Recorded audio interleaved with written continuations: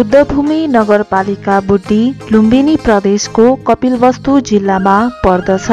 गोरुसिङ्गे इमिलिया यस नगरपालिकाका प्रमुख गाउँ र सहर रहेका छन्। यस नगरपालिकाको पूर्व सीमामा बाणगङ्गा नगरपालिका कपिलवस्तु नगरपालिका पश्चिम सीमामा शिवराज नगरपालिका उत्तर सीमामा अर्घाखाँचीको शीतगङ्गा नगरपालिका र दक्षिण सीमामा महाराजगञ्ज नगरपालिका र कपिलवस्तु नगरपालिका पर्दछन्। कुल सतहत्तर हजार दुई सय एकासी जनसङ्ख्या रहेको यस नगरपालिकाको क्षेत्रफल तिन सय छैसठी दशमलव छ सात वर्ग किलोमिटर रहेको छ।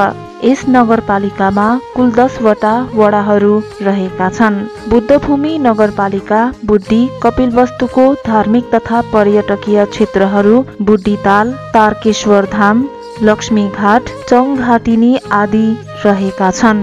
यस नगरपालिकामा मिश्रित जात जातिका बासिन्दाको बसोबास रहेको छ। यस नगरपालिकाका जनताको मुख्य पेसा कृषि रहेको छ। यस नगरपालिकामा कर्मचारी प्रशासन योजना अनुगमन राजस्व पञ्जीकरण पूर्वाधार विकास सामाजिक विकास लेखा आर्थिक विकास शिक्षा तथा खेलकुद स्वास्थ्य जिन्सी प्रधानमन्त्री रोजगार कृषि पशु शाखाले आफ्नो जिम्मेवारी अनुसार काम गरिरहेका छन्। यस नगरपालिकाका नगर प्रमुख केशव कुमार श्रेष्ठ नगर उप प्रमुख मिरा थारू प्रमुख प्रशासकीय अधिकृत रमेश गौतम र लेखा अधिकृत रेणुराम गेवाली रहनु भएको छ। लागत साझेदारी मर्मत सम्भार तथा मुख्यमन्त्री शैक्षिक सुधार कार्यक्रम बाहेक यस नगरपालिकामा योजनाको सङ्ख्या दुई सय आठ रहेको छ। यस नगरपालिकाको गत आर्थिक वर्षमा पाँच करोड बाइस लाख छ सय सत्ताइस रुपैयाँ बेरोजु रहेको थियो। अब लागौँ बुद्धभूमि नगरपालिका बुद्धि कपिलवस्तुका शिक्षा शाखा प्रमुख लिलबहादुर रावत छेत्रीसँग गरिएको कुराकानीतर्फ। सरलाई स्वागत छ हाम्रो कार्यक्रम धन्यवाद। केमा व्यस्त हुनुहुन्छ? के गर्दै हुनुहुन्छ वर्तमान अवस्थामा भनिदिनुहोस् न। शिक्षा युवा तथा खेलकुद शाखाको प्रमुख हैसियतले विद्यालय अनुगमन निरीक्षण अनि कार्यक्रम सञ्चालन शिक्षकहरूलाई पेसागत सपोर्टका कामहरू चाहिँ हुने गर्छन् भने यसै गरी प्रशासन योजना तथा कार्यक्रम तथा प्रशासन शाखातर्फ कर्मचारी प्रशासन सम्बन्धी सम्पूर्ण कार्यहरू गर्नुपर्ने हुन्छ। यसै गरी योजनाहरूको बिस लाखसम्मको योजनाहरूको चाहिँ प्राविधिक इस्टिमेटको चाहिँ स्वीकृति सम्झौताका कुराहरू लगायत अन्य कार्यालयबाट सञ्चालन हुने कार्यक्रमहरू चाहिँ को कार्य सम्पादन गर्ने गरिन्छ। सर तपाईँ शिक्षा युवा खेलकुद शाखाको प्रमुख पनि हुनुहुन्छ। शिक्षामा त्यसै गरी खेलकुद लगायत अन्य क्षेत्रमा हाम्रो नगरपालिकाले कतिको प्रगति हासिल गर्न सक्यो गएको आर्थिक वर्षमा? र यो आर्थिक वर्षमा के गरिरहेछ? अब हाम्रो लगानीको हिसाब किताबले जति प्रतिफल प्राप्ति गर्नुपर्ने हो त्यति हुन सकेको अवस्था छैन। किनभने शिक्षा सम्बन्धी सङ्घीय कानुन अझै नआइसकेको प्रदेश कानुनको पनि अभाव रहेको र स्थानीय तहले शिक्षा ऐन दुई हजार अठाइस संसद र शिक्षा नियम दुई हजार उनासाठीकै आधारमा काम गर्नुपर्ने र कतिपय प्रावधानहरू यो साझा सूचीका कुराहरू भएको हुँदा कार्य सम्पादनमा केही बेरियरहरू चाहिँ खडा देखिएका छन्। भने यहाँको शैक्षिक गुणस्तरका सम्बन्धमा हामीले विभिन्न पेसागत शिक्षकका पेसागत कार्यक्रमहरू सञ्चालन गरेका छौँ। र गत विगतभन्दा केही सिकाइ उपलब्धि केही वृद्धि भएको चाहिँ छ र जति हुनुपर्ने थियो त्यो चाहिँ हुन नसकेको अवस्था चाहिँ रहेको छ भने विद्यालयको भौतिक संरचनाका कुराहरू प्रशासनिक व्यवस्थापनका कुराहरू कार्यालय व्यवस्थापनका कुराहरू धेरै सुधारोन्मुख चाहिँ रहेको छ भने हामीले भर्खरै मात्रै शुल्क सम्बन्धी अनुगमन सामुदायिक विद्यालयमा केही शीर्षकहरूमा अभिभावक सपोर्ट भनेर विद्यालय लिने गरेको चाहिँ शुल्क सम्बन्धी कुराहरूलाई हामीले समिति नै गठन गरेर सोको चाहिँ नियमनको लागि चाहिँ हामीले चाहिँ अध्ययन प्रतिवेदन तयार गरेर कार्यपालिकामा पेस गरिसकेको अवस्था छ भने शिक्षकको पेसागत सपोर्टको लागि एक शिक्षक एक ल्यापटप कार्यक्रम नगरपालिकाले लिएको छ। जस अन्तर्गत फिफ्टी पर्सेन्ट शिक्षकले लगानी गर्छ भने फिफ्टी पर्सेन्ट नगरपालिकाले लगानी गरिदिन्छ र त्यो कार्यक्रम मार्फत चाहिँ शिक्षकहरूले अहिलेको सिकाइ कार्यक्रममा सपोर्ट पुगोस् भन्ने हिसाब किताबले यो कार्यक्रम चाहिँ ल्याएका छौँ। भने करिब आठ सय विद्यार्थीहरूलाई हामीले चार सय विद्यार्थीहरूलाई शैक्षिक सामग्री वितरण गरिसक्यौँ। जो कि बुवा आमा गुमाएका अर्काको घरमा बसेर चाहिँ काम गरेर चाहिँ पढ्ने बच्चाहरू कोरोनाका कारण चाहिँ प्रभावित बच्चाहरू र जेनदार गरिब जेनदार बच्चाहरूको लागि चाहिँ हामीले चाहिँ शैक्षिक सामग्री वितरणका कार्यक्रमबाट बच्चाको सिकाइमा सुधार आओस् भन्ने जस्ता कार्यक्रमले गर्दाखेरि केही प्रभाव चाहिँ परेको देखिन्छ। र अब जति हुनुपर्ने हो आशातीत उपलब्धि चाहिँ हासिल गर्न नसकेको अवस्था चाहिँ रहेको छ।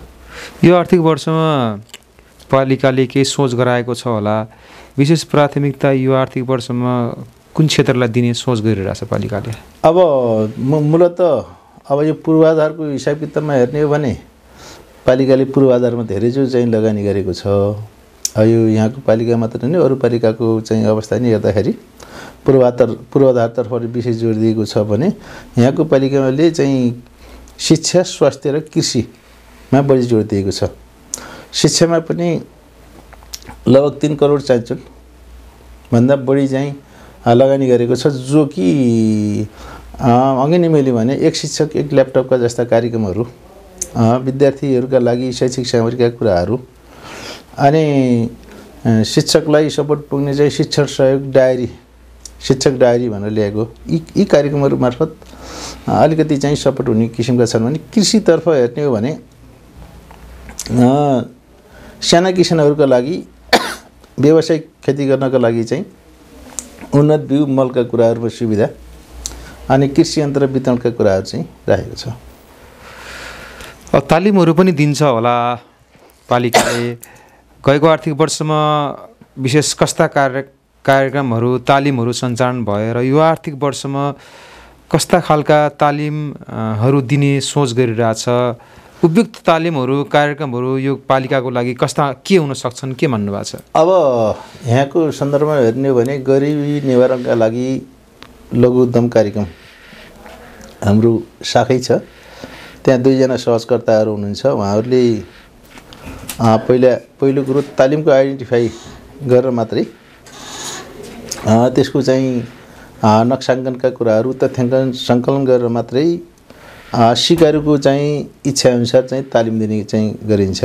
र अहिले पनि यहाँको मूलत यहाँ अलि बढी थारू कम्युनिटी भएको हुनाले ढोकिया बुन्ने तालिम अनि सिलाइ कटाइका कुराहरू त्यस्तै चाहिँ जुत्ता चप्पल चप्पलहरू बनाउने तालिमका कुराहरू चाहिँ त्यो लघु उद्यम विकास कार्यक्रम मार्फत छ भने यतातिर कृषि पशु सेवातिर हेर्ने हो भने किसानहरूलाई व्यावसायिक तरकारी खेतीको लागि चाहिँ तालिम र अनि बिउ पुँजी कोषको चाहिँ स्थापना सँगसँगै रहेको छ र यसै गरी कर्मचारीहरूको क्षमता विकासको लागि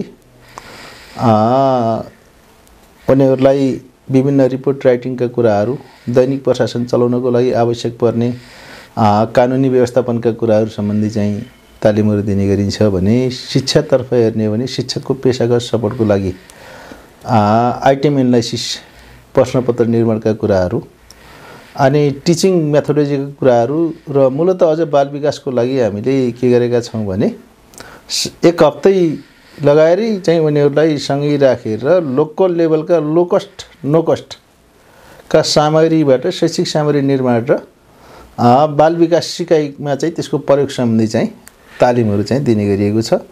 र केही तालिमहरूबाट अ, सिकारुहरू चाहिँ बहुत उत्साहित र प्रभावित भएको देखिन्छ भने केही तालिमहरू सिका सिकिसकेपछि त्यसको चाहिँ व्यवहारमा चाहिँ प्रयोग गर्ने कुराहरू चाहिँ नभएको चाहिँ छ। यो चाहिँ यथार्थ कुरा हो।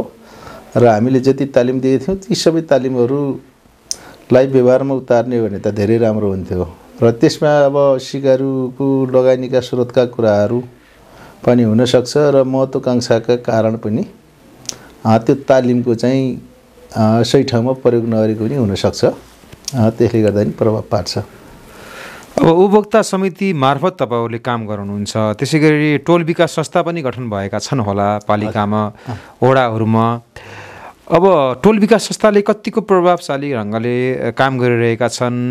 त्यसै गरी उपभोक्ता समिति मार्फत गरिएका कामहरू कतिको पारदर्शी छन्? के मान्नुभएको छ तपाईँहरूले? अब टोल विकास संस्थाहरू हामी कहाँ दर्ता भएका छन् र क्रियाशीलको हिसाब किताबले हेर्ने हो भने अलि बढी चाहिँ सक्रिय केहीवटामा राम्रो सक्रियता साथ काम गरेका छन्।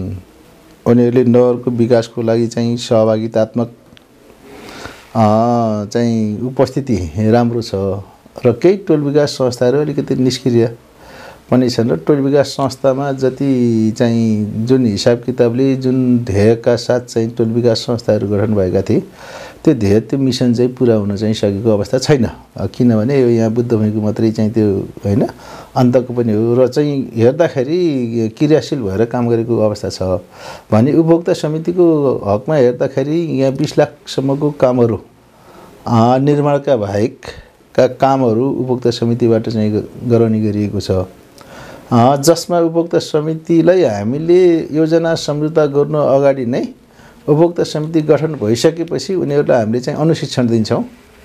उनीहरूले अनुशिक्षण दिइसकेपछि मात्रै उनीहरूले चाहिँ बल्ल चाहिँ आफ्नो क्षेत्रको योजना आयोजना तथा कार्यक्रमहरू चाहिँ सञ्चालन गर्छन् र जसमा उनीहरूलाई सजिलै बुझिने हिसाब किताब होस् भन्ने चाहिँ हाम्रो जुन लय किताब हुन्छ लगत इस्टिमेट किताब सबै हामी चाहिँ अ, उनीहरूलाई बुझ्ने हिसाब किताबले प्रिन्ट गरेर दिन्छौँ र प्रत्येक वडामा हामीले प्राविधिकहरू चाहिँ खटाएका छौँ।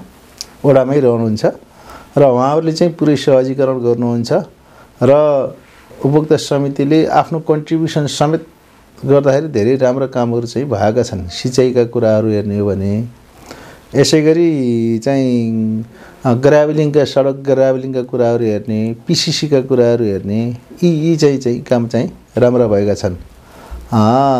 त्यस कारण चाहिँ उपभोक्ता समितिहरूबाट अहिलेको उपभोक्ता समितिहरूले गर्ने कामहरू चाहिँ क्वालिटी चाहिँ छैन।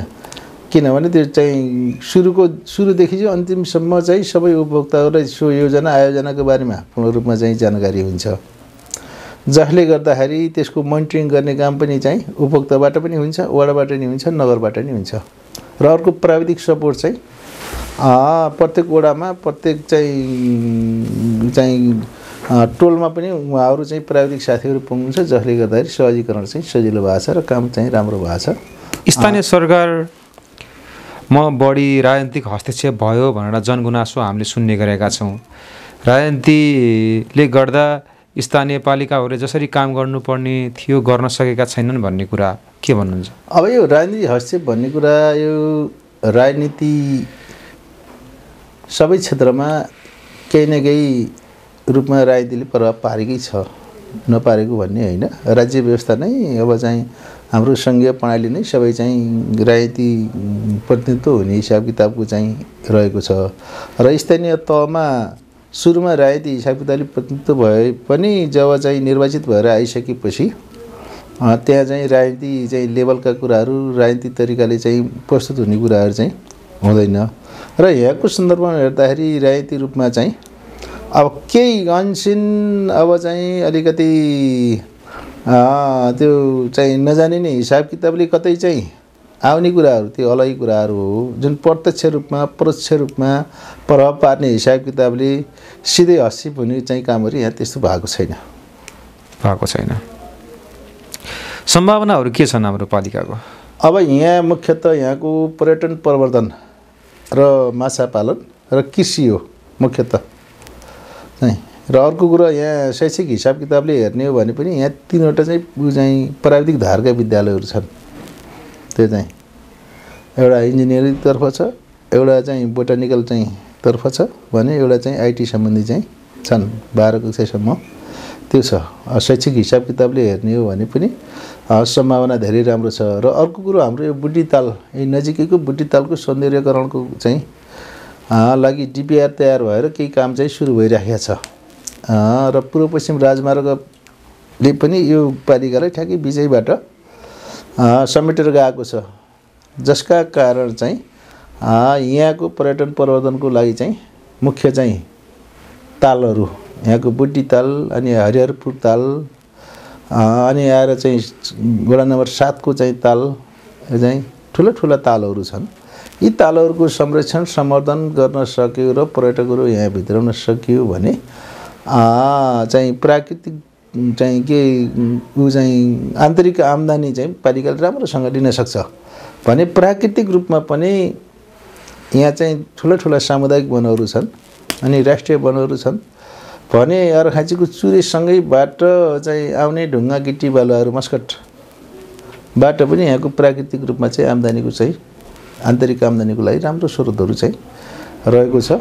र चुनौतीहरू खास के छन् त अब? काम गर्ने क्रममा आइपर्ने अप्ठ्याराहरू समस्याहरू के देख्नु भएको छ? अब कतिपय हाम्रो काम गर्ने कारण कार्यशैलीका कारण पनि समस्या आउन सक्छन्।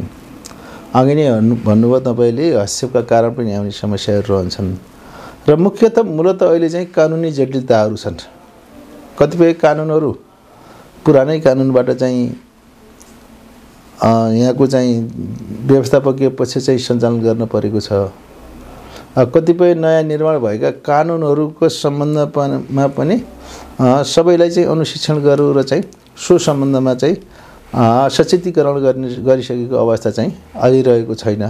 किनभने चाहिँ हाम्रो चाहिँ स्थानीय तहको निर्वाचन भएको पाँच वर्ष सकेर छ वर्षमा चाहिँ अझै चाहिँ हामी रनिङमा छौँ। यो अभ्यासकै उसमा छ।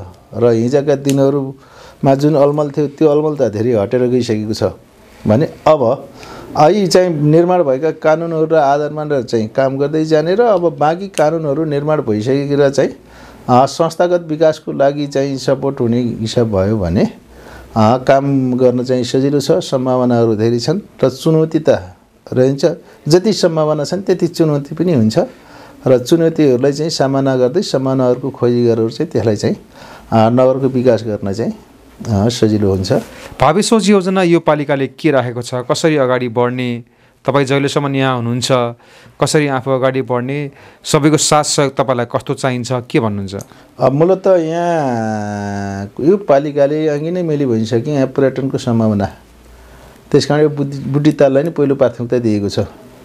र अर्को कुरा चाहिँ मैले भनिसकेँ शैक्षिक हबको रूपमा बनाउनको लागि विद्यालयको शिक्षण सिकाइ र आन्तरिक सक्षमतालाई सुधार गर्नको लागि लगानी बढाउँदै जाने र अर्को कुरा स्वास्थ्य क्षेत्रमा सुधार गर्नको लागि हिजोको स्वास्थ्य सेवा र अहिलेको स्वास्थ्य सेवालाई बढी गुणस्तरीय बनाउनको लागि हाम्रो पन्ध्र सयको हस्पिटल पनि यहीँ गुरुसिंहको बडारामा चाहिँ बन्दैछ। र स्वास्थ्यका शिक्षाका हिसाब किताबले र कृषिका हिसाब किताबले र चाहिँ पर्यटन प्रवर्धनका हिसाब किताबले पालिका ले चाहिँ लगानीका क्षेत्रहरू पनि बढाएको छ। र त्यसलाई दिगोपन गराउनको लागि संस्थागत चाहिँ विकासमा चाहिँ जोड दिएको छ।